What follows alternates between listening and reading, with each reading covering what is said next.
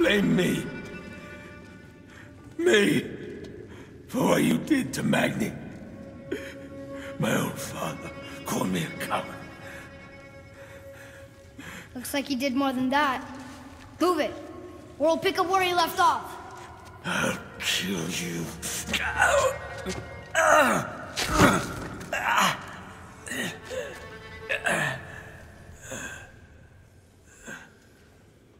No. He is beaten. Not worth killing. He should pay for what he said about Mother. I said no. But we're gods. We can do whatever we want. That's what I said to your mother. Right before I gave it to her.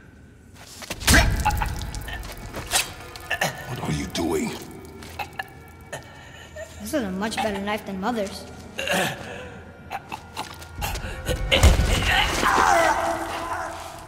You killed against my wishes.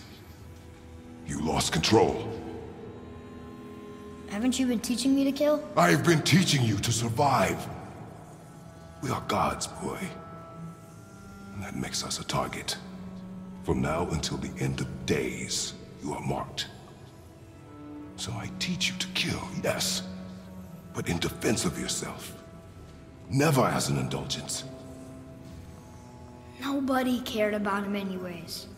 What's the difference? There are consequences to killing a god! Why? How do you know? How do you know?